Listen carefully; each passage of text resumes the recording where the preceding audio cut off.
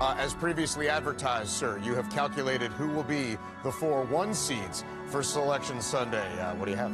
Yeah, we've had some serious movement in that regard. I mean, at the top of the bracket, Big East champion Villanova, Kansas, the regular season champion of the Big 12. Those two have been Wow. locked for while. Gonzaga, also a number one seed and locked in really for, since North Carolina lost. But then Duke winning the ACC title. Duke has got a very good resume, even with eight losses. They have 12 top 50 wins, eight of those wins coming away from home. And just in the last three days, they beat Louisville, North Carolina, and Notre Dame all away from home to win the ACC title. And that's why Duke will be the first eight loss once.